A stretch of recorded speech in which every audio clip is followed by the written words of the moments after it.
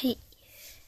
えっと、いろいろありまして、こちらのキノコの山と、こちらのキノコの山を、すでに食べています。はい。こっちの、あ、いちご。まあいいや。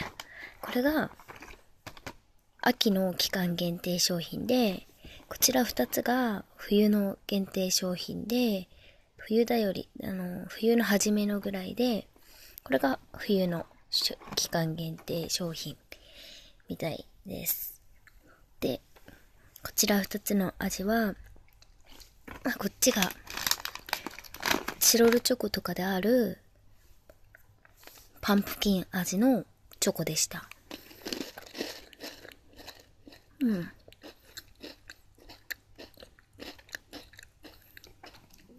で、こちらが2層になってるんですけど、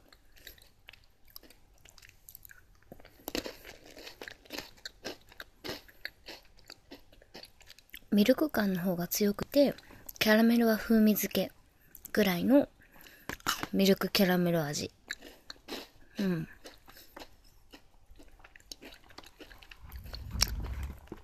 ですね。で、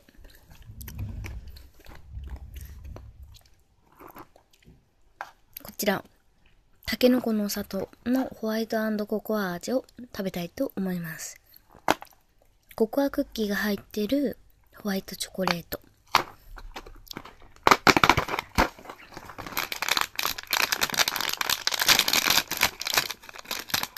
い。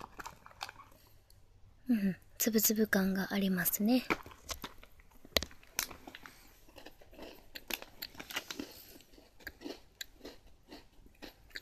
うん。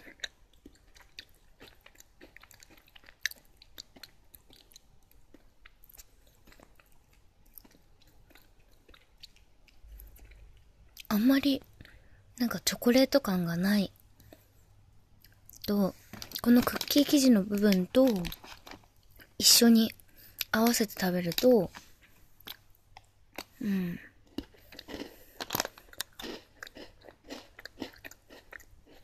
ミルクココアクッキーみたいな、もう全体がクッキーの、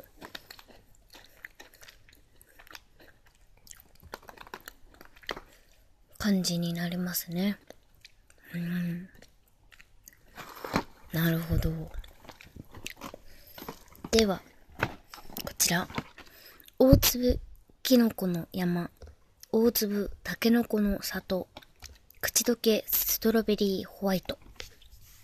こちらを食べたいと思います。うん。大粒シリーズは、一つ一つ放送がされてますね。おなんだこの違いは。うん、外から見えない。見えますね。はい。では。うん。うん。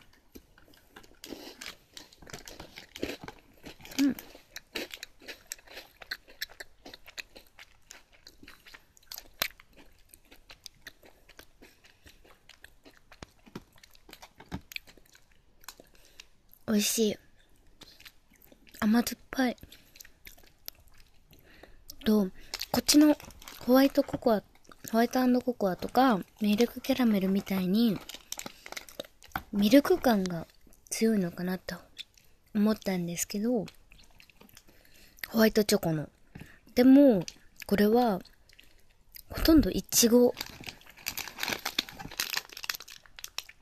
この白い部分も、そんなにホワイトチョコっぽくないのかな？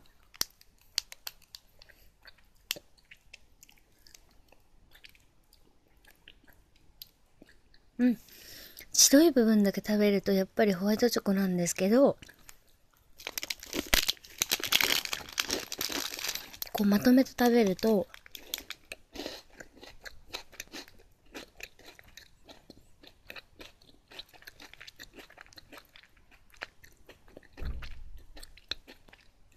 うんいちごの甘酸っぱさが、美味しい。では、たけのこの里。あ、かわいい。ほら。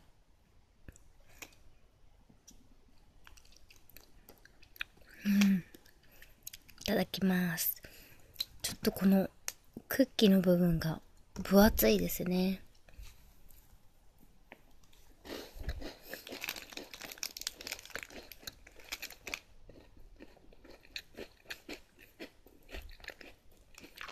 うん。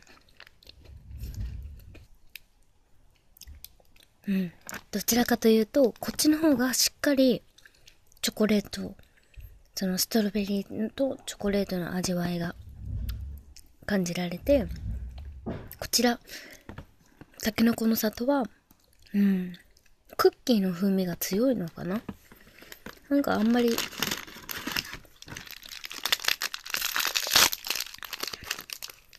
っとクッキーが分厚いですもんね、この。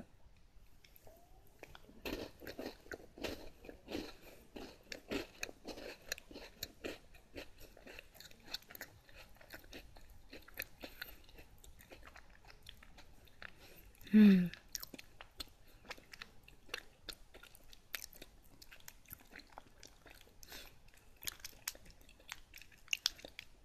うん。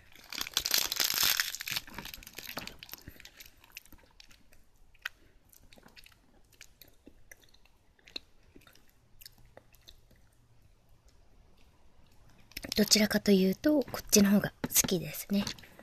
うん。はい。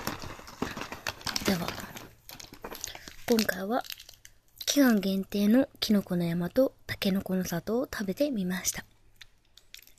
おしまい。